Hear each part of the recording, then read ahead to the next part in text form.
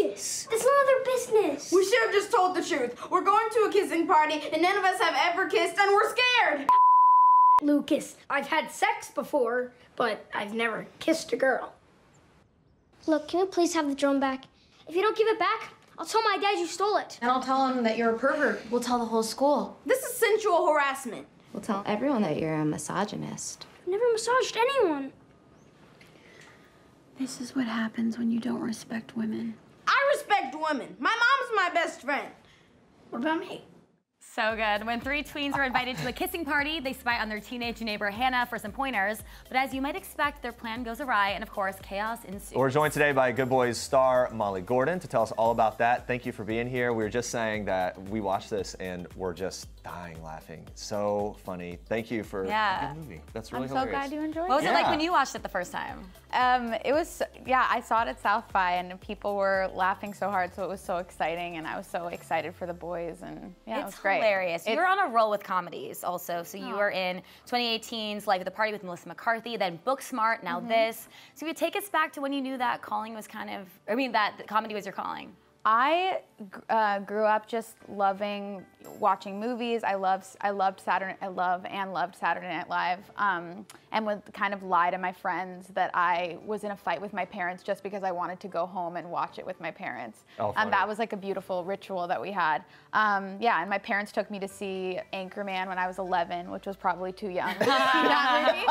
And I was like, I want to do that. Yeah, that's what I want to do. Yeah, well, the fact that that tells us a lot. Like they wouldn't hesitate at all for you to be involved in a movie Oh, like yeah. this. this yeah. We should tell people this movie is definitely rated R. Yeah, It is. yeah. It's vulgar comedy. It's it kind of owns that tone from Yes. the jump. Good Boys is the name of it again. If you didn't hear, so the the concept here, these tween boys are trying to like gear up for this kissing party. They kind of chat or, or sort of um, they sort of spy on you and another friend with a drone Yeah. to get tips on kissing and all this stuff happens it made us think as we were watching it about our first kiss and like that phase of life when that's such a like oh my gosh how does it work what happens Yeah. i mean for you what comes goes through your mind when you're kind of watching back and thinking about that phase Oh, it, yeah, it's horrifying because I, yeah, I did not know how to kiss. I think my first one of my one of my first kisses was in Truth or Dare. Like we did a Spider-Man kiss, and he told me years later that I bit him. Oh, really hard. I think I thought it was like you had to involve your teeth. okay right I thought the teeth, yeah. which actually would make a lot of sense that if you know nothing It like yeah. nothing. Yeah, I all thought it was like teeth heavy, tongue heavy. I didn't understand anything. They're like, wrong. absolutely not. Yeah, just kiss. Like you're violent. Um, yeah, a, ve- Yeah. very violent kiss. Um, Yeah. But yeah, I think there's so much humor. What grade that time was that when that happened? Like eighth or ninth grade. Okay. I was definitely more like Keith's character. I was I was still a kid. I wasn't ready to Yeah. to be a teenager yet. I was like third, fourth grade, uh, legit on the Really? playground. Yeah, yeah. With, I was a uh, Jo- freshman. with Joy was her Wow. name. Oh, Hey, wow. Joy. Shout out to Joy. What's up, Joy? Mine was a freshman. Yeah, I think I was a late bloomer. Yeah. Well, for a while though, I was telling everybody that it was actually in fourth grade because someone had kissed my elbow on the bus. And so you I lied for a long time. But First I thought kiss that was was the awkward, first kiss. kind of dry. Was on my You elbow. never wash your elbow forever. yeah, yeah. I just was like, this is my first kiss. Right, yeah. Um, talk to us about working on this very raunchy comedy though with kids. Was it intimidating to you versus working with adults? Um, they it wasn't intimidating. I honestly was very surprised at how professional they were. I would laugh more and I would goof off more. Jacob is like a veteran of the business. I say he's like a 78 year old man. He like had a cigar and was like, Molly, you look great today. Like he's, he just like gets it Yeah. and they were so great. And they're just not in their heads. And I think when you get older, you get more self-conscious. So I actually wanted to be more like they were. That's amazing. Because Yeah. you have Jacob Tremblay, you have Brady Noon, Keith Williams. They're so funny. They're you had great. those three in studio and they were hilarious. Yeah. What was something maybe surprising about working with those three? Um, they were just really good guys. They are good boys, and it would just made me happy that like to see the, the trajectory of their careers now, and to know that they were such good people now, and that they have good parents, and um, yeah, that was just a good part. I feel like I, there would be so many moments where I would be like, "Are we saying this in front of them?" Yeah. Because I will tell you, I've interviewed Jacob for several years, and it was like at first it was shocking. It's like, oh my gosh, I can't believe the words coming out of his mouth. A a hundred percent, yeah. But I just kind, I if we they'd go, what does this mean? I'd say I have no idea as well. I have absolutely no idea. One day we'll find out. Well, yeah, one day we'll all know. know. For yeah, now, none of us know. exactly, Exactly. Um, second hit comedy this year. A couple months ago, we saw you in Booksmart with your real life bestie. That that must have been a fun experience. Tell it us was about the that. best. Yeah, she's she's just my best friend in the whole world. She's such an amazing person, and she's so freaking talented. So I was just, I just felt lucky to work with her and to play like someone that is very mean to her. Is that the So- kind of thing where you know each other so well that you have to question, like, I mean, obviously the writing's there, it's in the script, but in terms of your rapport, I would imagine you've got like inside jokes galore Yeah. that you think are hilarious. That would, you know what I mean? Like when- when it comes to being creative, it's like, okay, hold up, this works for everyone, this works for us. Yeah, I think we.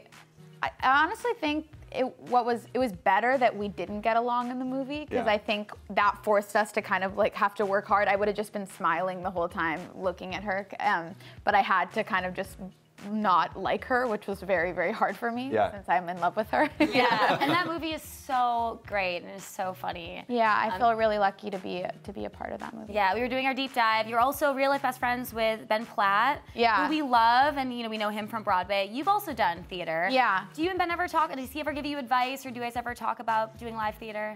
Yeah, he gives me so much advice he, on what supplements to take. how to, I can't stop. How, I can't stop talking, and he was like, "You can't talk. You have to treat your body like a temple when you're doing it, because theater is so hard." Um, yeah, he's just amazing, and he started uh, before me, so it's been great to like see how he navigates this life and and to learn from that. Wait, what are the supplements? Yeah, There's like right. supplements to take specifically for doing live theater. Or just like if you're starting to feel sick, take Yeah. this vitamin C, have this tea. I need to know, Uh, yeah.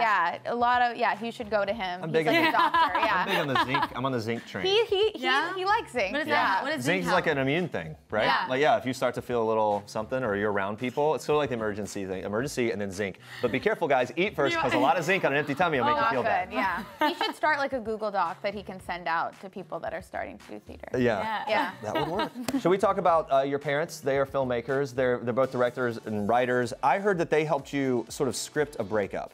Is that right? Yeah. Breaking up with your boyfriend, like it was like, okay, writer's room. totally. Let's talk through this. Because I just wanted to say like we're done. I, I can't do this anymore. You were texting right there. Yeah, You were gonna do it via I- text. Totally, and Okay. they and they were like, I was in eighth grade, and they said, no, you have to, you know, kill him with kindness and say that you're going through something and not put it on him. Okay. Yeah, and we wrote like a beautiful letter all oh. together, many drafts, and we sent it, and then we didn't talk for like a year, me and that guy, so it didn't go that But at least, it, but it was, but it ended, at least there was like a nice, Totally, thoroughly ended up- thought over. Definitely. Statement. And they've helped me like throughout the years with lots of different romantic things. Yeah. Okay. Are you someone that you go right to your parents with the new person that you're dating? Yeah. Yeah, that's They're great. they're yeah, they're definitely um, yeah, they're like the parents that you want to you you want to bring someone home to them. yeah. Yeah. Honestly- Instead of afraid that your parents are going to be embarrassing. Yeah, Or. I, I had that kind of relationship with my parents too. I still do, but uh, like with dating and everything, like I would tell them so much. There was a point where my parent, my dad was like, "You, you don't have to tell me all these some of No, these details." 100%. I'm the opposite. I never say anything. I'm like, oh yeah, I'm single for life. Yeah. anyway, so since you play a bit of a mischievous teenager in Good Boys, we want to play a game called Guilty or Innocent. We're going to give you a scenario. You tell us if you are guilty or innocent of it. Are you There you ready? go. I'm so ready. Here we go. Okay, first one, guilty or innocent of stealing props from set? Oh, guilty. I always steal things. Is there a favorite thing that you've recently stole, or maybe from this movie, from Good Boys? Um, did I steal anything from Good Boys? I think I stole a lighter. Okay, good. That Take what you want with was that, actually- yeah. Something I was very scared about. Yeah, if you've seen the movie, you know there's a lot of interesting Guil- props. guilty or innocent of drunk texting? Oh, guilty. Yeah. Always. Do you have like an apology tour the next morning? Oh, 100%. Yeah. Huge apology, apology tour. Yeah. Guilty or innocent of sliding in the DMs? Oh, innocent. I think that's scary. Yeah. I don't like to do that. Yeah. Do, have, has anyone ever slid into your DMs that you actually responded to? You know what I mean? That's like, oh, now we're great friends. Um, some, I think a couple of, of female comedians and I have become friends through Yeah. that, but not, I'm a little too scared. I like in person. I- Have you I ever like thought of good sliding in the. DMs of like a celeb and then talked yourself out of it? I mean, I'd like to just slide into like Beyonce's DMs and be like, I respect you and love you, but that's really it. Yeah. Maybe this t- counts as that. Yeah, sort exactly. Some There you world. Uh, guilty or innocent, regifting a gift. Huge sin. Oh, guilty.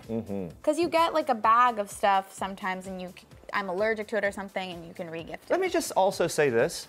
I would encourage anyone that I give a gift to to feel free to regift it. I don't care I feel at the all. same Yeah. way. Like yeah. zero percent.